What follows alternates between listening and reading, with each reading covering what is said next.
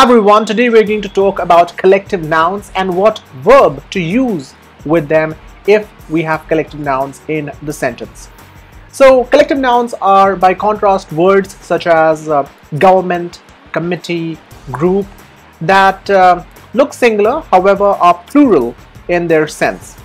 So the standard practice is to use the singular verb if uh, a collectiveness or a unity is uh, indicated in the sentence and uh, to use a plural verb if uh, we are indicating uh, corporateness or individuality um, from that particular collective noun in the sentence. Uh, let's get a few examples in order to understand this better. Okay, let's first of all get some examples with the singular verb uh, for collective nouns. Each succeeding generation of gallery visitors finds it easier to recognize uh, cubist subject matter. A group of four young men in denim overalls was standing close to him.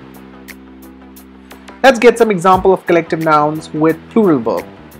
The jury retired at 5 minutes past 5 o'clock to consider their verdict. Let us hope that the Ministry of Defense are on your side this time.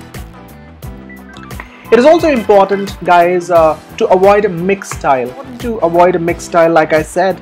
So, a sentence like the government has decided to postpone their decision. Now, in this sentence, initially you would see that we have the word has, which is uh, the singular verb uh, being used with government. And on the second part, we have their, uh, which indicates uh, plurality. So if you have considered government singular in the first half of the sentence, in the second half as well, you must treat it as singular. So the correct form of this sentence would be the government has decided to postpone its uh, decision. So hopefully this uh, video was helpful in um, helping you get uh, clarity on how to use verbs with collective nouns. If you liked it, please uh, do share it uh, with your friends and uh, subscribe to our channel for more such updates in the future. Until next time, bye-bye.